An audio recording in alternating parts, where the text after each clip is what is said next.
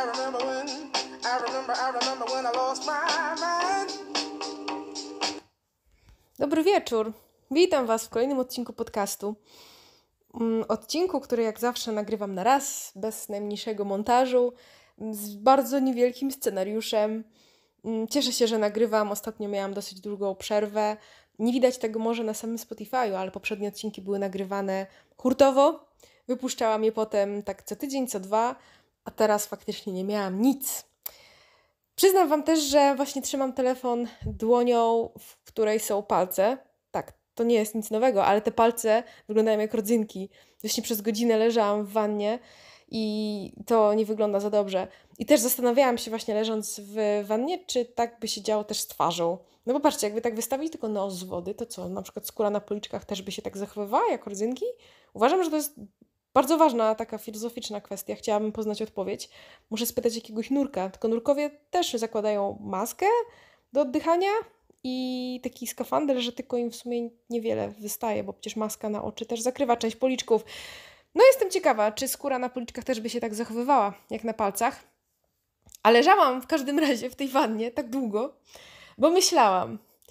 I tak miewam, że się zawieszę, albo właśnie sobie tak zatonę w wannie i, i sobie kontempluję.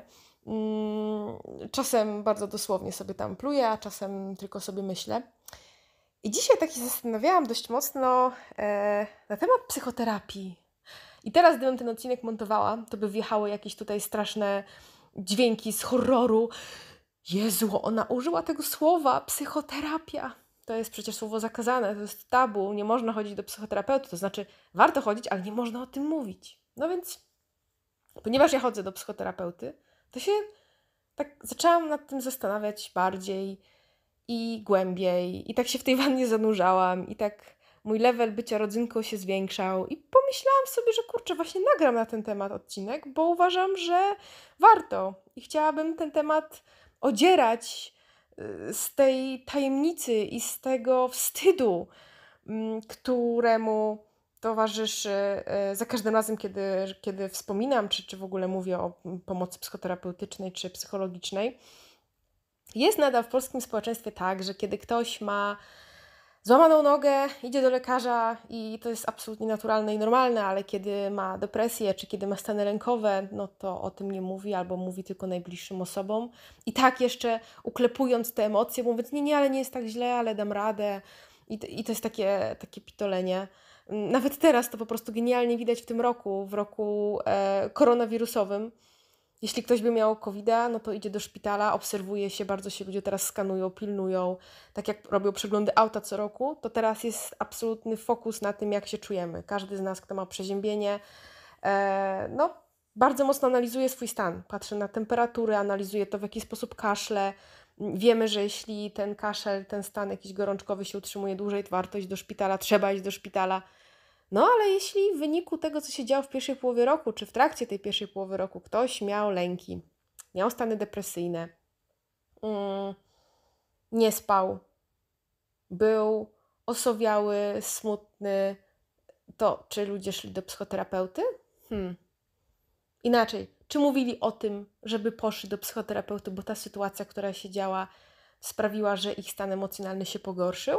No, tutaj jakoś ja o tym nie słyszałam od. y, że- Żeby to było jakieś popularne, jeśli chodzi o temat rozmów. Akurat wśród moich znajomych tak, bo też gdzieś staram się dobierać podobnych znajomych i, i też osoby o wysokim poziomie samoświadomości, dla których to nie jest wstyd. Natomiast, no jednak, gdzieś w społeczeństwie ten temat, tyle się mówi o tym, że faktycznie morale spadły, że ludzie mają stany depresyjne, ale jakoś, jakoś ta, ta psychoterapia jest takim nadal no takim czymś niewygodnym, nie? Tak, no nie, nie, nie, nie, to inni, ale nie ja. Dlatego chciałam wziąć ten temat na tapetę. Wspomnę Wam, że mm, w Polsce mniej niż 2% e, ludzi korzysta z psychoterapii, co jest, e, to jest dana mm, sprzed 5 lat i nie jestem w stanie jakby teraz zweryfikować, jak to wygląda w tym roku, bo te dane, które znajdowałam, były bardzo niejasne, albo były takie, których bym się obawiała pokazywać, bo na przykład mówiły, że wzrosło to do 3-4%, Mm, ale tak naprawdę pokazuje to tylko na przykład szpitale albo tylko psychologów, nie, nie pokazując na przykład grup terapeutycznych albo nie pokazując jeszcze innych metod tak, radzenia sobie. Więc wolałam bazować na danych, które mm, jakby pokazywały całość i były zestawione z danymi z USA, bo mi bardziej chodziło o trend, żeby złapać. Więc w Polsce jest to niecałe 2%, mm, być może dzisiaj 3-4%. E, w USA na stan, który był 5 lat temu, to było 12%. Mm, co więcej, 77% e, osób w Polsce mm, w tych samych badaniach zadeklarowało, że nie poszłoby do psychoterapeuty e, ze względu na lęk przed kompromitacją. 77%. Jeśli nawet to spadło o 10 punktów procentowych, co by było i tak wynikiem rewelacyjnym, to nadal ten lęk przed kompromitacją, ten wstyd jest gdzieś w nas bardzo mocno zakorzeniony. I no dla mnie osobiście to jest abstrakcja, to znaczy ja to, ja to rozumiem, tak, z czego to się bierze, tak, mieliśmy wtłaczane do głów i jeśli przekonania nie są właśnie wzięte na warsztat e, terapeutyczny czy coachingowy, no to tak sobie myślimy. Natomiast no jest to Informacja trochę przykra i wolałabym, żeby ten procent był wyższy, no bo jeśli spytacie kogoś, czy jeśli masz złamaną nogę, pójdziesz do lekarza, no to chyba nikt by nie powiedział, że nie pójdzie, bo się boi e, o kompromitację. A według mnie to są bardzo podobne sytuacje i wręcz dla mnie korzystanie z psychoterapii jest oznaką zdrowia. Raz jeszcze, korzystanie z psychoterapii jest oznaką zdrowia, jest oznaką mądrości, samoświadomości, chęci poprawy jakości życia. Ja jak najbardziej biję brawo każdej osobie, która ma na tyle wglądu w siebie, żeby właśnie z takiej pomocy skorzystać. No, wiem, jestem pewnie w mniejszości, ale może właśnie dzięki temu podcastowi gdzieś to się będzie powoli e, zmieniało. Mm, ostatnio też obejrzałam świetny wywiad e, Magdy Mołek z Nosowską, z Kaśką. Mm, Kaśka też pokazywała Mm, bo wydała książkę, tak? Powrót z Bambuko. I ona pokazywała i w tym wywiadzie poruszała dość mocno mm, tą potrzebę i ten sens zajęcia się sobą, wreszcie zajęcia się sobą yy, i zakończenia życia wedle pomysłu kogoś innego. Tak byliśmy wychowywani, nasze pokolenia. Yy, dzieciaków urodzonych w latach 80., 70., były wychowywane przez pokolenie starsze, wyko, um, urodzone w latach 50., 40., 50., 60. lata to były lata zimnego chowu. Bardzo często spotykam osoby w moim wieku, powiedzmy takie osoby 30-40, które nigdy nie usłyszały od rodziców kocham cię. I nawet te osoby, które są, powiedziałabym, pozornie ogarnięte, które osiągnęły sukces, wszystko zależy oczywiście od definicji sukcesu, ale powiedzmy, że społeczny taki, gdzie mają autopracę i tym podobne, tak naprawdę są pokiereszowane emocjonalnie i Kaśka też o tym gdzieś fajnie mówi, też pokazując swój przykład, że ona dopiero trafiła e, na taką drogę samorozwoju, kiedy jej syn miał już 18 lat.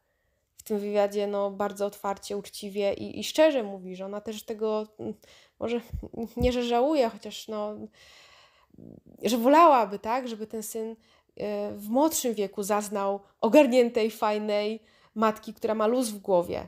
I ja miałam bardzo podobnie. Moja mama też dopiero w jakimś wieku zajęła się właśnie sobą i tym, co ma w głowie, swoimi emocjami. I, i, i z jednej strony szkoda, a z drugiej cieszę się, że teraz, a nie nigdy. Mm. Ja miałam okazję korzystać dwa, trzy razy w życiu z psychoterapii. Mm, I były te momenty, w których faktycznie potrzebowałam się gdzieś z kilkoma traumami e, i problemami uporać. Uważam, że to było coś tak bezcennego i to pootwierało mnie na e, zupełnie inną jakość życia. Zupełnie. I wgląd, który mam w siebie, samą świadomość procentuje. Oczywiście to nie było proste i jakby nic, co jest proste, nie daje efektów, które są wartościowe. Natomiast poznałam w trakcie tych e, różnych mm, momentów bardzo wiele osób, też e, podczas uczestnictwa w grupach terapeutycznych, które są e, normalne i ogarnięte życiowo, tak? Tam były osoby, nie wiem, prawnicy, lekarze, mm, studentki, nauczyciele, ktoś z budowlanki, ksiądz, mm, żona pani domu, no po prostu przekrój społeczeństwa. Natomiast tam trafiają też osoby, które mają świadomość tego, że w ich życiu może być lepiej. Mm, I myślę sobie, że warto się na to potwierać i w ogóle warto sobie też zadać pytanie, czy, czy moje życie faktycznie jest takie, jak ja bym chciała, czy takie, jak ja bym chciał. Zewnętrzne oznaki aprobaty ze, ze strony społeczeństwa czy rodziny to jest mało. E, pamiętam kiedyś na jednej z grup poznałam mm, dziewczynę, 20 jakoś miała 8-9 lat, e, pani chirurg, mm, która została zgwałcona, potem wpadła przez to też w problemy alkoholowe. E, i, I przyznam Wam, że jakby spojrzeć na tą dziewczynę z zewnątrz, no prześliczna, hiperogarnięta, lekarka, w ogóle chirurdzy, mm, prawnicy, biznesmeni, te tak, te tak zwane białe kołnierzyki to jest w ogóle inny temat, ale mm, osoby, które mają stanowiska i sukcesy i mają tą aprobatę z zewnątrz, poklask społeczny, mają nawet czasem trudniej, bo łatwiej jest trafić na terapię w momencie, E, to będzie mocne, co powiem, ale w momencie, kiedy jest, załóżmy, przemoc domowa, mąż bije żonę, w momencie, kiedy, załóżmy, ja jako dziecko byłabym bita czy molestowana, ja bym miała też dużo łatwiejszy bodziec, motywację, taką, takie przekonanie, że coś jest nie tak. Ale w momencie, kiedy ktoś żyje sobie takim, takim życiem, które wydaje się normalne, tak? No, studia, praca, sukces, jedno auto, nie wiem, żona, dwójka dzieci, niby wszystko jest ok, ale właśnie okazuje się, że tej satysfakcji życiowej nie ma. To bardzo sobie marzę, żeby był taki świat, w którym ludzie sobie zadają pytanie, czy ja żyję swoim życiem, czy, czy można lepiej, bo może tak naprawdę żyję nie do końca tak, jakby można było, mm, ale mam wtłoczone, że tak się powinno żyć i tak, tak, tak muszę. Mm, I właśnie coś, na co dzisiaj wpadłam w wannie, e, nie dosłownie, e, na co e, wpłynęłam w wannie, to była pewna analogia, mm, żeby pokazać psychoterapię i momenty w życiu, kiedy warto skorzystać z pomocy psychoterapeutycznej, mm, na zasadzie analogii do stanu ciała. I widzę takie cztery poziomy, o nich bym chciała teraz opowiedzieć, takie cztery poziomy jakości mm, życia, w których terapeuta może być e, albo niezbędny, albo właśnie może być e, dodatkowym czymś ekstra, takim X-faktorem. I, I myślę sobie, że warto sobie to w ten sposób zobaczyć, że mm, to, w jakim stanie jest nasz umysł, można poniekąd porównać do ciała. Zacznę od levelu pierwszego. Mm, i ten pierwszy poziom to jest poziom zagrożenia śmierci. E, to jest, e, przekładając to na język ciała, to dla mnie jest to sytuacja, kiedy no, mamy nóż w brzuchu, tak? kiedy jest, jest, ciało jest w stanie krytycznym, jest potrzebny respirator, nie wiem, po wypadku, po czołówce, e, no jesteśmy w stanie po prostu krytycznym, tak, oją i, i koniec. I dla mnie to jest też sytuacja, kiedy ludzie trafiają na przykład na mm, oddział odwykowy albo jest ktoś w stanie już naprawdę, kiedy ktoś ma próby samobójcze, chce się zabić, kiedy ma skrajną depresję, mm, kiedy jest uzależniony, tak? Mówimy o takich naprawdę skrajnych przypadkach. To jest dziewczyna z anoreksją, która już ma 33 e, kilo na liczniku i jakby już wpada, no jest, balansuje na granicy życia i śmierci. I w tym przypadku mm, jest potrzebna krytyczna pomoc w ośrodku, czasem też obejmująca wsparcie jakby jak najbardziej fizyczne, tak? czy w przypadku anoreksji, czy czasem są to leki destabilizujące od psychiatry, ale mentalnie ta osoba potrzebuje zmiany o 180 stopni. I to z kolei daje mi taką analogię jak przeszczep.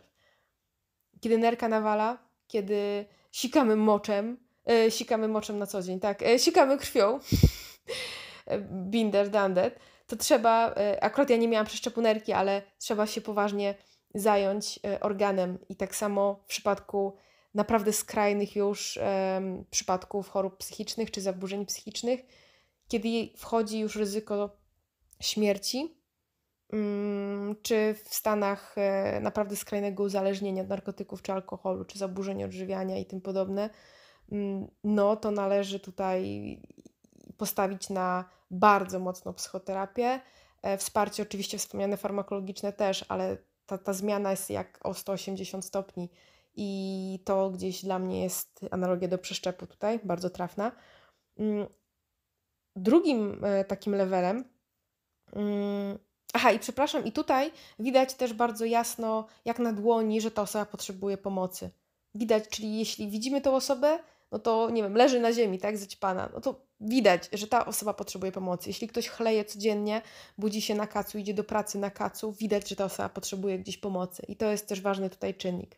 Mm, kolejny level jest dla mnie mm, bliski czemuś, co bym nazwała jakby chorobą przewlekłą. Tutaj przychodzi mi na myśl rak, nie wiem, choroba jakaś SIBO, cukrzyca, coś, co narasta E, co już jest, co już jest gdzieś bardzo namacalne, również widoczne z zewnątrz, co jest ważne, również widoczne przez, nie wiem, mm, rodzinę, przez współpracowników. I, i ale generalnie jakość jeszcze, jakość się jeszcze da żyć. E, trzeba lekarza, natomiast no, nie jest to stan taki krytyczny, jak ten wcześniej wspomniany. I teraz patrząc na, to, na ten stan psychiczny, no to dla mnie tutaj są osoby, które są po prostu bardzo nieszczęśliwe, depresyjne, nie mają radości z życia, albo piją wino codziennie, e, no ale tak naprawdę nie są w stanie, że nie mogą wstać rano do pracy. Co więcej, mnóstwo tutaj jest właśnie przypadków, gdzie to whisky za 500 zł za butelkę wjeżdża codziennie, mm, no ale teoretycznie jest w miarę okej. Okay. Mm, to są też sytuacje tkwienia w toksycznych relacjach, w toksycznych związkach, w związkach przemocowych. Mm, i tutaj widać, że te osoby są nieszczęśliwe, widać, że są w jakichś mocnych stanach lękowych. E, tutaj właśnie bardzo często też dochodzi do odreagowywania emocji różnymi metodami, tak? Właśnie czy, czy alkoholem wspomnianym, czy narkotykami. Mm, tutaj jest e, nierzadko też przemoc, czy względem dzieci, e, czy pracoholizm bardzo popularny i na który bardzo uczulam. Podobnie jak na picie drugich alkoholi, to, że ktoś właśnie nie jest żulem na ulicy brudnym, to nie znaczy, że nie ma problemu z, z jakimś uzależnieniem mm, z alkoholem, czy tak jak widać to w klubach jakichś nocnych wrocławskich i w ogóle w klubach, pojawia się amfetamina, kokaina i tym podobne. To są już widoczne też oznaki jakiegoś poważniejszego problemu. Nie mówię, że raz na jakiś czas się zdarzy szalony wieczór, raz na rok i tak dalej. Mówimy o takim stanie permanentnego wyniszczania się, ale nie jest to jeszcze stan ojomu, tak? gdzie już ktoś leży i potrzebuje respiratora. Jest to stan bardzo poważny i tutaj y, czasem również farmakologia wchodzi w grę, ale przede wszystkim intensywna psychoterapia. Uważam, że jak najbardziej jest to zasadne, potrzebne. Mm, nie można nikogo zachęcić i, i zmusić, może inaczej, nie można nikogo zmusić do psychoterapii. Na pewno warto zachęcać, ale to jest decyzja mm, danej osoby. Chciałabym, żeby tak było, że da się kogoś namówić, ale Chociaż nie wiem, czy bym chciała. Z drugiej strony, dopiero jak się ma samemu tą gotowość i dojrzałość do tego, to, to ona może przynieść efekt. I to jest też etap, który jest w miarę hmm, prosty do zauważenia. Tak jak we wspomnianym, nie wiem, raku, cukrzycy, widać te objawy, widać coś, coś się dzieje. To nie jest granica śmierci, ale ewidentnie widać tą chorobę. Tak samo tutaj, jeśli ktoś już e, jest znerwicowany, ma stany lękowe, chleje, jest mocno nieszczęśliwy, jest agresywny, albo w drugą stronę jest wycofany z życia, zlękniony, samotny, alienuje się. Tutaj jest całe, wiecie, spektrum. Tu jest całe spektrum zaburzeń. Ja tutaj nie chcę, broń Boże, nagle teraz wymieniać e, listy według e, kodów chorób, których używają psychoterapeuci. Chodzi mi o tą analogię. To też jest coś, co już widać z zewnątrz. I to jest o tyle w cudzysłowie właśnie prostsze, że tutaj jest ten mobilizator jakiś, że chyba coś jest nie tak, no coś jest chyba ze mną nie tak, skoro wstaję codziennie rano i nienawidzę mojego życia. Natomiast trochę gorzej jest na tym etapie trzecim. Gorzej do wyłapania. I etap trzeci, ten, o którym teraz chcę powiedzieć, no zauważam bardzo często. Bardzo często, bo on jest taki cichy. To jest bardzo Mm, niebezpieczne miejsce, w którym się jest, bo to jest taki właśnie typowy Kowalski. Tutaj mówimy o takim życiu, takim trochę nie swoim życiem, o takim pójściu w stronę życia, które no jest jakie jest, w sumie jest słabo, ale nic z tym nie robię. Mm, tu się wkrada pewien marazm, taka, taka wegetacja w życiu. Mm, tkwię w pracy, której nie lubię, no ale jej nie zmienię, bo mam opór, bo się boję, bo nie wiem, co będzie w innej firmie. No jestem z tą żoną, z tym mężem, w sumie żyjemy osobno, no ale się boję zmienić. Mm, chciałbym wyjechać, no ale nie wyjadę. Chciałbym mieć swoją firmę, ale nie założę. Tutaj dochodzi, tutaj dochodzą też, e, nie wiem, bardzo silne dyskomforty w przypadku stawiania granic. Ktoś czegoś o nas chce, nie umiemy odmówić. E, kłopoty z samooceną. Ja jestem najgorszy, ja nie zasługuję. On jest lepszy. Porównywanie się, kompleksy, lęk przed bliskością. Mm, albo w drugą stronę, takie wczepianie się w drugiego człowieka, czyli potrzeba potwierdzania w ogóle sensu własnego życia poprzez bycie z kimś. Wiecie, tutaj mm, pojawia się tak zwane ryzykowne picie, czyli tak trochę za dużo i trochę za często, ale nie tak, żeby jednak, no ale nie jest tak źle. I to jest właśnie to takie niby okej. Okay. I tutaj bardzo często z zewnątrz nie ma tych objawów. Czyli jeśli spojrzymy sobie, nie mając takiej samoświadomości, jak pewne rzeczy działają, jak taki Kowalski spojrzy sobie na tego Kwiatkowskiego, na tego Nowaka, to tak tak sobie siądą, będą sobie narzekać, nie? I tak się będą w tym, jak to jest źle, tak utwierdzać i, i tak generalnie nie jest tak źle, no, no, no wszyscy tak żyją. I, i, ta wegetacja narasta, jest społecznie akceptowalna. Takie niewychylanie się jak z tymi pieczarkami, nie? Mamy farmy pieczarek, jak ktoś wyrośnie ponad to ma ścinany łeb, tak... Mm, tutaj nie ma iskry, Tutaj jest ten element takiego życia w schemacie. Nie ma mm, samoświadomości emocjonalnej, praktycznie jest ona bardzo niska, bardzo słaba. Czyli kiedy taką osobę, ja mam taki bardzo szybki test, polecam zrobić go samemu sobie i osobom, mm, załóżmy innym, jeśli chcemy sprawdzić ich mm, poziom mm, samoświadomości. To są dla mnie takie dwa pytania. Jedno jest takie, co teraz czujesz? I jak od, ktoś mi odpowiada, nie, no wszystko jest ok, albo czuję się bardzo dobrze, to ja taki mam już ogląd, gdzieś tak widzę, hmm, chodzi o nomenklaturę. Ok, albo że jest dobrze, nie jest emocją. Jeśli ja naprawdę z kimś siadam i, i chcę go spytać, co teraz czujesz, i ktoś nie jest w stanie wymienić emocji, czuję spokój, zadowolenie, obawę, ekscytację, hmm, cała gala po prostu emocji, tak? Mówię o nomenklaturze typowo emocjonalnej. Tych emocji jest kilkadziesiąt jeśli ktoś w ogóle nie ma, bo ja czasem jeszcze chcę pomóc, no dobra, ale wymień co czujesz, no nie wiem, wymień mi parę emocji. Nie no, wiesz, w porządku, nie, no jakby jest okej, okay. wczoraj było gorzej, dzisiaj już jest dobrze. To o czym my mówimy? To jak ktoś ma zarządzać sobą i swoim życiem, nie mając wglądu w emocje? To znaczy, to jest taka abstrakcja też dla tej osoby. Mm no i dlatego to życie się tak właśnie toczy, tak się toczy w sumie nie wiadomo jak dlaczego, jest całe okraszone mm, blokadami jakimiś dziwnymi, których nawet sobie nie zdajemy sprawy. Mm, autosabotaże dochodzą tutaj. E, takie życie jest skarłowaciałe. No i dla mnie taka osoba jak najbardziej też warto, żeby trafiła właśnie na psychoterapię, a idąc w analogię właśnie mm, ciała, to dla mnie to jest taki stan takiej wysypki, takiego permanentnego kataru, takiego oddychania przez flegmę, takiego patrzenia na świat mając zaćmę.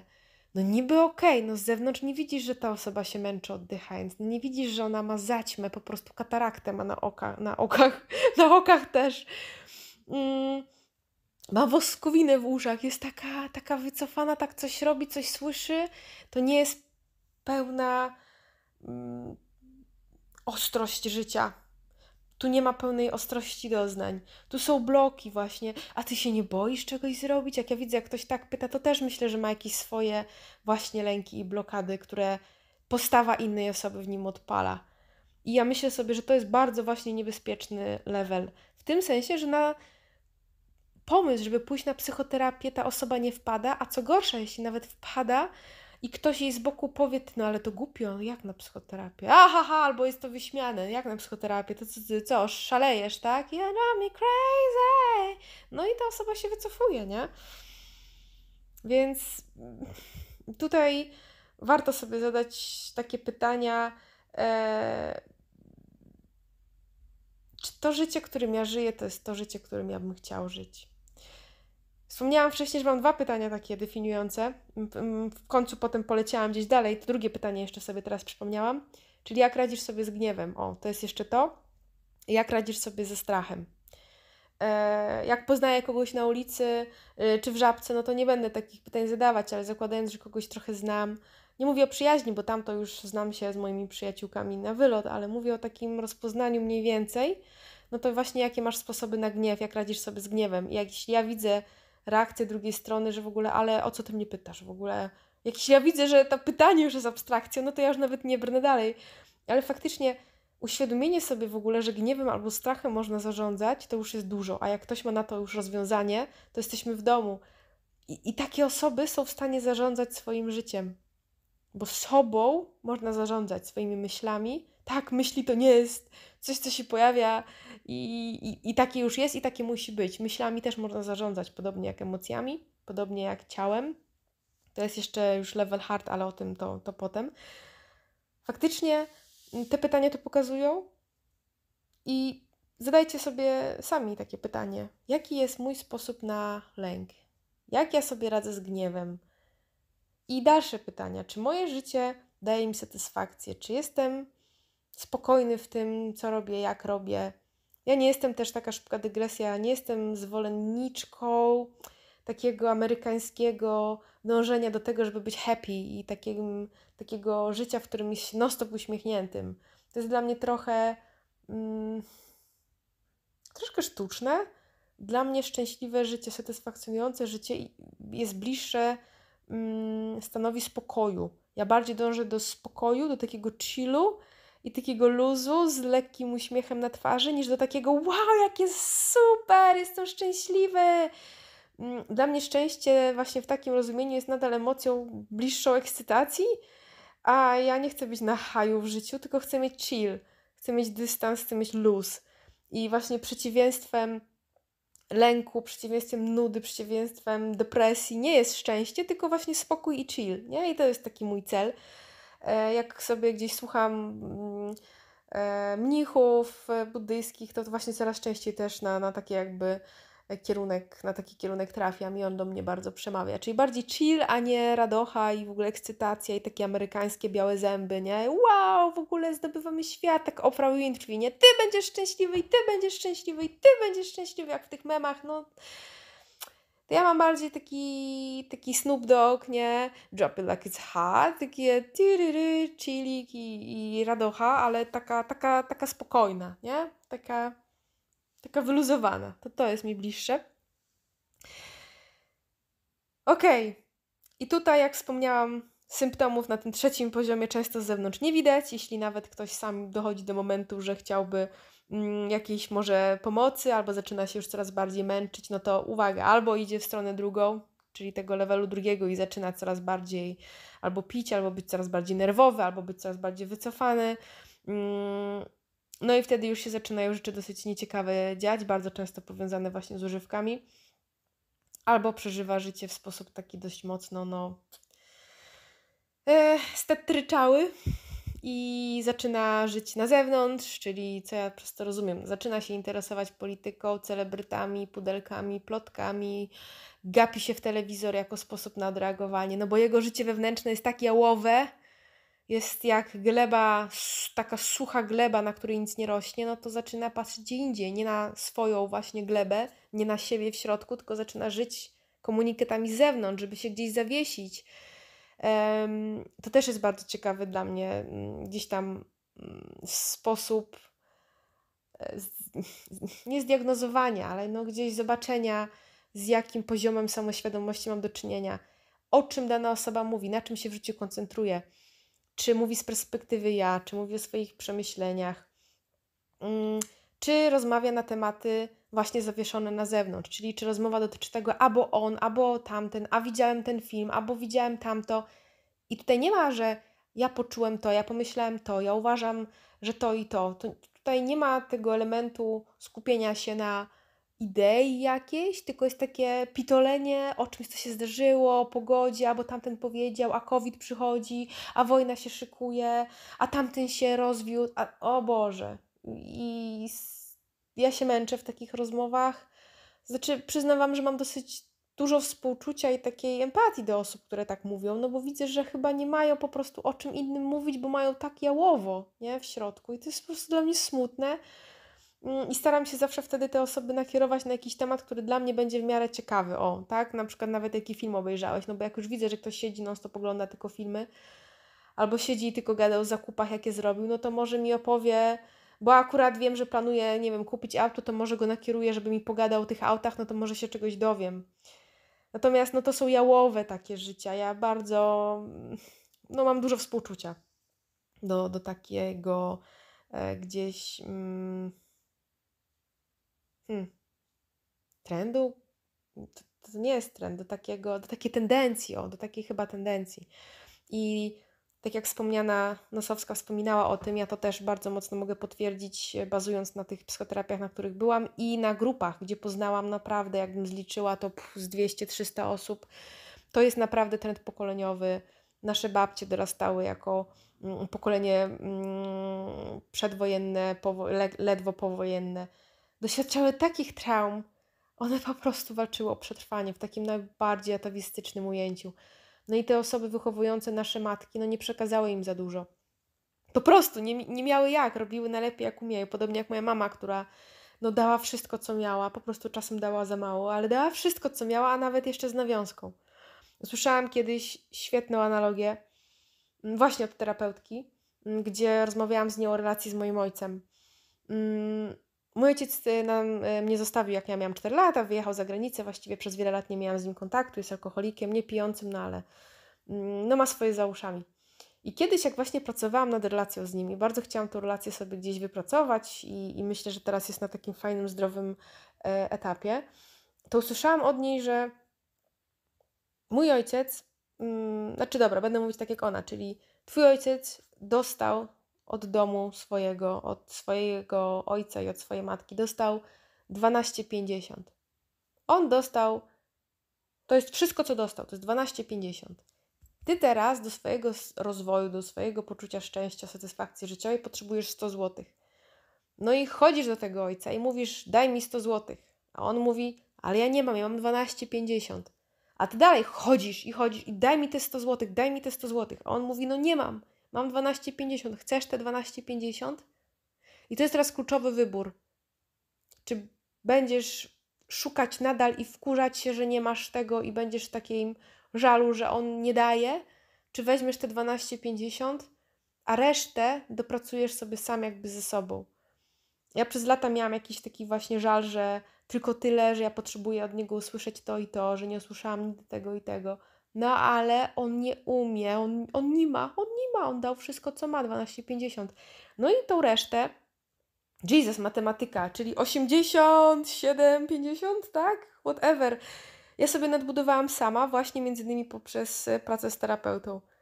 I właśnie na tym to też e, gdzieś polega, żeby zobaczyć, czego nam brakuje i mieć jakby kogoś, takiego przewodnika, który pomoże pewne rzeczy i pewne braki nadbudować. Natomiast to jest coś, co jest tak mocno osadzone w społeczeństwie, zwłaszcza tym naszym polskim i tym, gdzie, mm, no, wiecie, w większości Europy, tak? Czyli tam, gdzie była, gdzie ludzie doświadczyli wojny. Nasze pokolenie rodziców było chowane w sposób absolutnie ubijający emocje, jakakolwiek strach, e, smutek, lęk są, były ubijane. Ale nie, nie no, nie bój się, ale wszystko będzie dobrze. Nie no, nie smuć się, uśmiechnij się, głowa do góry, takie pitolenia. Emocje trzeba wyzwalać, uwalniać, akceptować te stany. I dopiero nasze pokolenie, teraz jeszcze 30, 20, mm, nastolatki teraz i dzieciaki chowane zaczynają mieć tą świadomość emocjonalną, no bo dopiero my jako pokolenie zaczynamy ją mieć. Także chciałam może też dzięki temu mm, właśnie podcastowi gdzieś wzmocnić osoby, które nie do końca są szczęśliwe, nie czują tej satysfakcji z życia, że terapia jest czymś naturalnym. To jest tak jak, tak jak lekarz, który pomaga przy złamanej nodze, czy tak jak pomaga przy katarze, mm, przypisując jakieś tam krople. I wspomniałam na razie o tych trzech etapach. No to jaki jest ten czwarty? No czwarty właśnie dla mnie to jest coś, co ja gdzieś mam teraz. I to jest tak, że z zewnątrz już nie widać zupełnie, że jest jakakolwiek potrzeba, że coś jest nie tak Czyli patrząc analogią ciała, ciało jest zdrowe, morfologia jest ok, mm, wszystko teoretycznie jest fajnie. No to mogę, można mi zadać pytanie, to po co ja chodzę do psychoterapeutki? No właśnie dlatego, że zawsze jest coś, co można sobie trochę usprawnić, zawsze jest coś, co mm, może być trochę lepiej. Ta morfologia, którą mam, jest ok, ale nie jest idealna. Czasem jakiś witamin brakuje. I dla mnie teraz ta psychoterapia jest trochę taką suplementacją. Jest suplementacją duszy. Jest czymś ekstra. Jest zadbaniem o siebie. Ja już bardzo doceniam moje życie siebie, chcę o siebie dbać, a jakieś elementy do pracy się pojawiają. Mm, choćby teraz, czy, czy w pracy, czy w nowej pracy, czy gdzieś w firmie, którą prowadzę, czy w relacjach z facetami, gdzieś jakieś się problemy, jakieś jednak opory odzywają. I to jest dla mnie taki element maintenance'u, takiego utrzymania i wzrastania. Ja chcę już rosnąć i przyznam Wam, że kiedyś to usłyszałam i mogę to teraz po latach potwierdzić, że kiedy się wejdzie na ścieżkę samorozwoju, to z niej się już nie schodzi. To znaczy, to już jest pewien element stały mojego życia, mm, który tylko rozwijam, rozbudowuję, nadbudowuję. Mm, tak jest też e, z osobami, które mają jakąś, nie wiem, pasję na przykład do wystroju wnętrz. To nie jest tak, że ktoś sobie urządził salon i już jest na zawsze, tak? To zawsze się pojawia coś, kurczę, tą doniczkę można by było, albo jeszcze nowego kwiatka, albo kocyk bym zmieniła, albo bym przemalowała i mija rok i kurczę, znowu bym przemalowała, albo jeszcze bym tutaj coś. I ja mam tak samo, że ja się autentycznie jaram tym, że widzę ile, jak zmieniam i jak się mi coraz fajniej żyje, jak coś, co kiedyś powodowałoby we mnie opór, teraz już jest takim, takim lightem i to jest niesamowite, jak z czasem te rzeczy tylko tak urastają i mm, słyszę nieraz właśnie, a ty się nie boisz czegoś? No oczywiście, że się boję, ale co z tego? I chodzi o to w życiu, żeby działać pomimo strachu. Emocja nie jest mną, tak jak myśli nie są mną. Kiedyś zrobię chyba osobne nagranie, które będzie dużo krótsze, taka instrukcja obsługi człowieka, bo mam ochotę się tym po prostu podzielić. Jakby myśli, które mam w głowie, wiem, że są jakimiś wytworami, niekoniecznie muszę za nimi podążać, mam wybór. Mogę w to miejsce mieć inne myśli. I oczywiście są też myśli automatyczne i czasem jest na, w natłoku spraw życiowych i, i codzienności po prostu. Podążam za myślami, które mam, ale już coraz rzadziej mam myśli destrukcyjne, czy takie, które demotywują, raczej mam takie, które powodują, że wzrastam. Podobnie z emocjami. Emocje są! I emocje są reakcją ciała na to, co się dzieje lub na myśli. I emocja też nie jest czymś, za czym należy podążać. Co więcej, emocja jest po prostu informacją. I tak jak w firmie, no, pracując, dostanę jakąś informację, analizuję ją i na tej podstawie działam lub nie.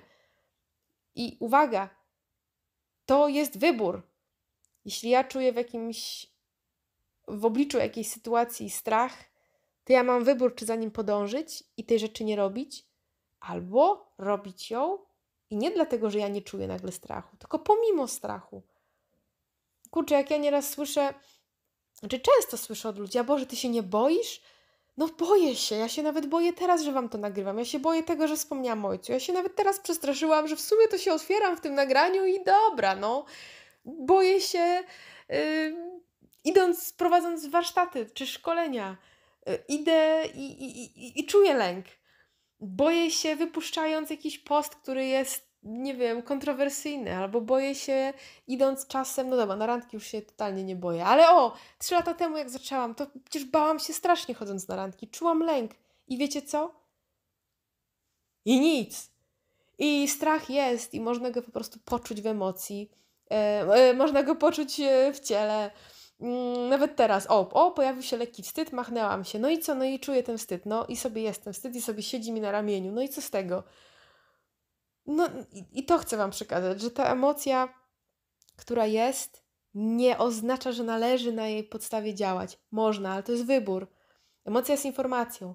Może być też tak oczywiście, że na przykład przestraszę się czegoś mm, i na tej podstawie uznam, kurczę, czy to jest zasadne? O cholera, no faktycznie jest to zasadne. To jest zasadne, mogę sobie zrobić e, siniaka, mogę sobie zrobić krzywdę, mogę się gdzieś nie sprawdzić, może jeszcze się, nie wiem, przyuczę, nauczę, wycofam, zrobię to, nie wiem, za tydzień. To jest informacja. A co widzę wśród ludzi najczęściej? Ale ja się boję i już nie robi. Nawet zero autorefleksji, jest strach, jest blokada. Tak samo gniew. Jest gniew, już jest reakcja. Albo jest smutek i ojejku. I myślę, że to już mam bardzo dobrze przepracowane i to już mam ze sobą. Ale nie zmienia to faktu, że ja się też borykam z różnymi mm, problemami, czasem właśnie z automatami, które się odzywają. Czasem mi się włączy mm, problem z samooceną, czasem się zacznę z kimś porównywać. I lubię sobie mieć taką moją psychoterapeutkę, mm, która mnie zna, która jest w stanie mnie naprowadzić jakby samą siebie już na pewne rozwiązania, e, która czasem właśnie obnaża pewne jeszcze stare schematy, które gdzieś wybijają, która jeszcze coś, na czym pracuję mocno, to jest jakby taka sama akceptacja gdzieś ciała, czasem mi się odzywa właśnie jakiś jakby tutaj kłopot y, w obszarze gdzieś kobiecości, starzenia się, no i czasem zasługiwaniem jeszcze y, też mam jakiś kłopot, jak mam się wycenić gdzieś, nie wiem, dniówkę szkoleniową, wycenić to po prostu na automacie mi leci niżej niż być mogło. Mm, no i na szczęście już też mam na to metodę, tak, jeśli czuję ten lęk i widzę ten opór, to nie podejmuję decyzji, mówię, że wrócę z informacją, przeprawię, przemyślę, ocenię, wysyłam, ale jakby cały czas pewne rzeczy się dzieją, mielą i jakby to jest samorozwój, to jest proces i ten proces się myślę nigdy nie skończy. A pocieszające jest, strasznie pocieszające i w ogóle mega budujące jest to, że im więcej razy ja się wystawiam na te nowe rzeczy, tym mniej one mnie ruszają. I coś, co kiedyś by spowodowało, a to Wam opowiem. Jakiś czas temu wrzucałam post w pracy. A jeśli tego słucha ktoś ode mnie z firmy, to seriously, to się zdarzyło. To był mój pierwszy post tutaj w firmie, gdzieś na LinkedIna, wiecie, taki, taki ważny, taki mądry i tam coś było o Scrumie. Scrum to jest metoda zarządzania projektami w branży IT, ale nie tylko, głównie znana w branży IT. Pisałam coś na ten temat. Mm, no i sprawdzałam 100 razy, dobra, dałam, wyślij. I oczywiście napisałam zamiast Scrum Master, napisałam Scrum Master. I tak przeczytałam to po chwili i tak fuck! No po prostu szybko, wiecie, edytuj, popraw i tak dalej. Nie wiem, ilu osobom się to już zdążyło wyświetlić po staremu, ale kiedyś to ja bym po prostu 10 lat temu bym zeszła na zawał. A teraz właściwie miałam już tylko bekę z tego. No i co? No i, i tak sobie myślę, kurczę, jaki to jest fajny progres, jak to widać ten progres i ten luz. I Widzę też, że ludzie dużo chętniej pracują z ludźmi, którzy mają po prostu e, zluzowanego kucyka i mają chili, nie ma tej spiny. E, spina blokuje silne emocje, które się dzieją. To też jest ciekawe, tak, jeśli chodzi o zarządzanie, czy zadaniami, czy ludźmi, czy, czy sobą w pracy. Silne emocje blokują logiczne i zdrowe i spokojne myślenie. Czyli jeśli w pracy jesteśmy na spiętej dupie, jest non-stop jakiś lęk, jest obawa, jest poczucie winy, jest jakiś stan zagrożenia, albo jakieś chore ego się włącza, rywalizacja, to wszystko generuje emocje i wtedy podejmujemy decyzje, podejmujemy decyzje, które nie są, mm, hmm, niekoniecznie są najlepsze, jakie by mogły być, bo są podszyte silną emocją, która zaburza, która jakby powoduje, że nasze widzenie jest zblurowane, jest jak za mgłą. Dlatego zauważyłam znowu, że im jak sobie zaczęłam tą drogę rozwoju na maksa wprowadzać, już tam to było 10 lat temu, jak tak ostro zaczęłam, myślę, że tak już od paru ładnych lat mam mega progres i fajny, czyli w życiu, to nagle wszystko zawodowo też się fajnie układa i to jest, no, to jest proces, który gdzieś bardzo mm, pomaga w różnych sferach życia. E, minus, jaki zauważam, też tak obiektywnie, no i tu mi się włącza właśnie teraz taki lekki opór. Normalnie bym Wam tak nie mówiła, ale ponieważ jakby o tym jest ten odcinek, no to powiem. Tutaj mam już taki lekki opór, obawę, czy o tym nie powiedzieć, trochę się boję, no ale powiem. Mm, że dla mnie takim minusem, który zauważyłam psychoterapii, jakbym miała wymienić, to jest chyba, to jest chyba tylko jeden. Mm, że bardzo trudno mi jest zbudować teraz e, relację damsko-męską, bo nie wyobrażam sobie wejść w relację miłosną, mieć faceta po prostu, który nie ma wglądu w siebie. A facetów, którzy są zaradnie ogarnięci życiowo, którzy kręcą mnie seksualnie i mają wgląd w siebie, no może nie, że nie ma, ale generalnie jest to mniejszość i albo już mają żony, albo, e, al, albo nie wiem, nie są w Polsce i ich poznaję gdzieś. Mm, na jakiejś imprezie, kiedy są przez chwilę w Polsce, bo to też jest często tak, że za granicą też między innymi przez to, że na przykład osoby ze Stanów czy gdzieś z innych rejonów mniej doświadczyły, mm, ich te pokolenia wcześniejsze mniej doświadczyły biedy i jakby ekstremalnych warunków, mm, ta świadomość jest gdzieś większa, wgląd w siebie, poziom rozmów jest dużo głębszy. No i Znowu, plus jest taki po psychoterapii, że mam dużo bliższe, fajniejsze relacje z przyjaciółmi. Kiedy ja mówię przyjaciółka, to ja mam na myśli naprawdę przyjaciółkę, a nie psia psiłę od pierdzielenia na temat Zalando. Tylko naprawdę to są bliskie relacje, takie zakorzenione bardzo głęboko w emocjach, znamy się po prostu od podszewki. No ale z facetami to taka trochę lipa, no. No właśnie, no, takie pniaki, no. I, i kurczę, widzę, że taki mam tutaj momenty takiej złości, nie? Że no kurde, fajnie mi się żyje i chciałabym móc sobie też z facetem pogadać trochę o emocjach. No i mam tutaj takie betony, no. A z kolei faceci, których poznaję, którzy mają fajny wgląd w siebie, nie boją się mówić o emocjach, mogą się popłakać. Mm, nie mają właśnie tego wstydu przed, e, bycia, przed byciem autentycznym, to to są najczęściej osoby, które poznaję albo na jakichś warsztatach, albo na jodze, albo na jakichś gongach. I to są z kolei mężczyźni, którzy mi nie, odpowiada, nie odpowiadają pod względem życiowym, zaradności życiowej, mm, ogarnięcia biznesowego, co się przerzuca też na to, że nie kręcą mnie seksualnie. I taką mam trochę tutaj zagwostkę, że ja nie oczekuję, żeby ktoś był nagle e, latającym Buddą, ale właśnie miał jakkolwiek wgląd w siebie. No i tutaj mam z tym trochę kłopot, że właśnie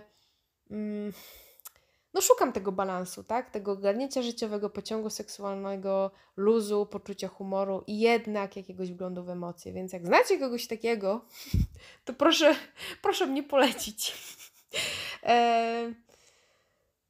No i cóż, mam nadzieję, że to nagranie, że ten odcinek pomoże gdzieś w odzieraniu tej stygmatyzacji, że to będzie trochę jak taki strup zdrapany i, i ta rana zacznie się trochę goić w społeczeństwie.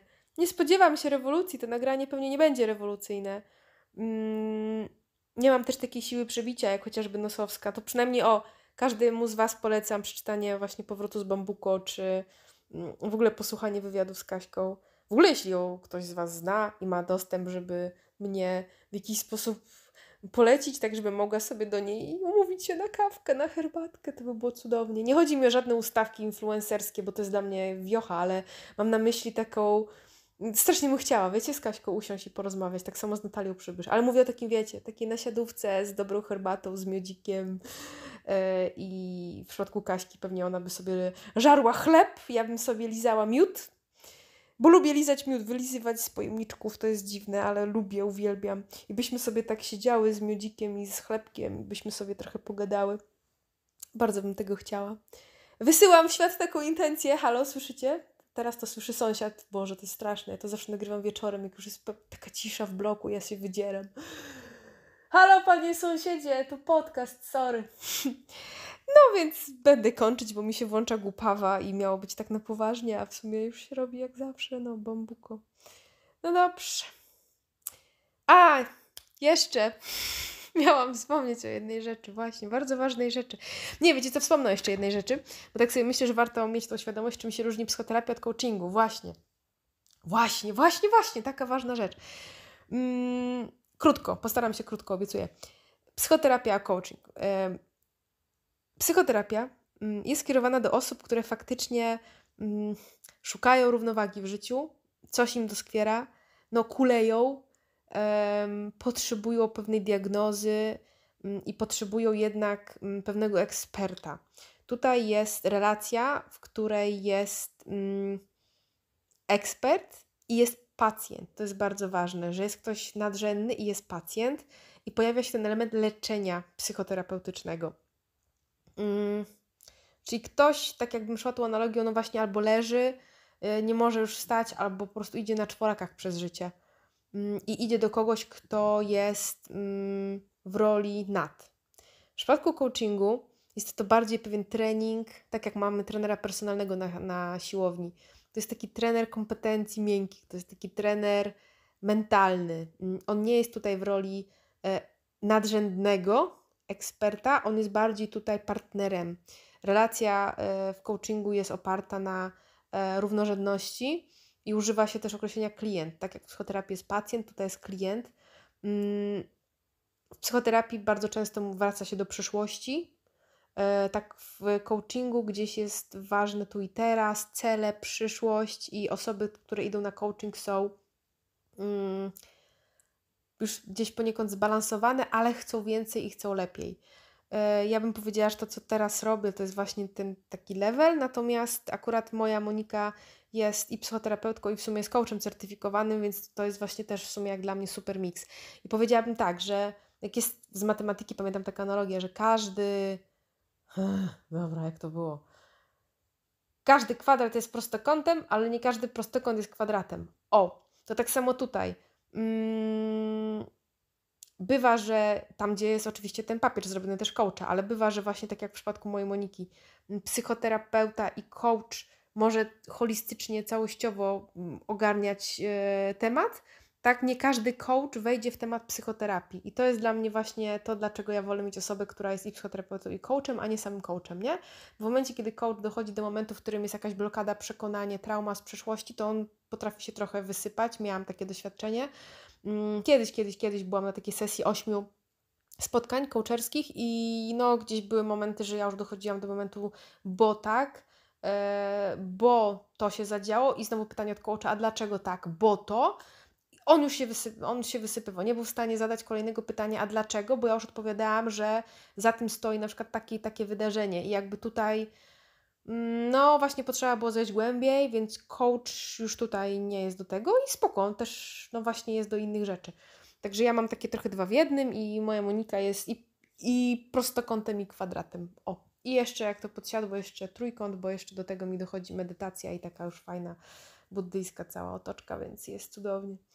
E, no, nad ziemią nie latam, to nie jest tak i mam swoje blokady, opory. Bywa, że za bardzo potrzebuję jeszcze kontroli bezpieczeństwa. Czasem się gubię w chaosie, chciałabym uporządkować mm, i wiedzieć już wszystko co i jak, a przecież niepewność jest stanem, który jest naturalny, więc ja daleko mi do nagle robienia z siebie e, jakiegoś zenu chodzącego, czy zena, zenu, wiecie, trybu zen. Natomiast y, jest generalnie spoko, a kiedyś nie było i może być spoko, jeśli u Was nie jest. To jest przekaz taki już mniej górnolotny, powiedzmy. Czy wszystko powiedziałam? Teraz sobie jeszcze coś przypomnę. Mm, no, chyba tak. Chciałabym bardzo, żeby psychoterapia stała się taką częścią obyczajowości ludzi mm, i taką naturalną, normalną rzeczą. Ja tak się też zainspirowałam, jak czytałam wywiady z biznesmenami e, ze Stanów, zwłaszcza Silicon Valley, bo jakby na tamte gdzieś teksty trafiam też z racji tego, co robię w pracy. To, to jest naturalny element rzeczy, rzeczy, rzeczy, życia, że biznesmeni, founderzy, prezesi, CEOs i tak dalej, no mają swoich psychoterapeutów i nie chodzi tutaj o nagle fancy dodatek, jak nowe buty, oj, byłam u psychoterapeuty, tylko mówię o tym, że jest ta samoświadomość już tam w ludziach i w Stanach stało się to czymś naturalnym, tak samo w Kanadzie. Mm, nie jest to ani, bo, o właśnie, ja bym nie chciała, żeby to było coś do chwalenia się i do robienia czegoś na pokaz. I to znowu jest dla mnie pójście w drugą stronę. Czy jeśli masz grypę, idziesz do lekarza, to mówisz o tym na Instagramie, że mm, o, byłam u lekarza i dostałam krople, czy tam jakieś tabletki. No nie, i o tym mówię. Ja bym chciała, żeby tak był właśnie traktowany psychoterapeuta. Nie jako element chwalenia się i budowania wizerunku. Boże, jak jestem zajebisty i oświecony, ja mam swojego psychoterapeuta i płacę mu 300 za godzinę. Nie o tym mówię. Chciałabym, żeby to było normalne, zdrowe, lekkie, żeby do tego nie przykładać wagi, żeby to nie budziło żadnych emocji pod tytułem wstyd. Tego sobie życzę. Tego życzę też Wam. I. I cóż, i nic. Dobrego życia, spokojnego życia, wychillowanego tygodnia. Nie wiem, kiedy to wrzucę. Dzisiaj jest niedziela wieczór. 54 minuty wyszło całkiem nieźle. Całkiem nieźle. Obstawiałam, że to będzie 13 minut. Życzę Wam spokoju. I. I czego Wam życzę? I takiej pełnej świadomości. O, I takiej świadomości tego, czego się chce, świadomości tego, że się czuje. I ja myślę, że to już jest dobry moment, żeby już dalej nie przedłużać. Pa!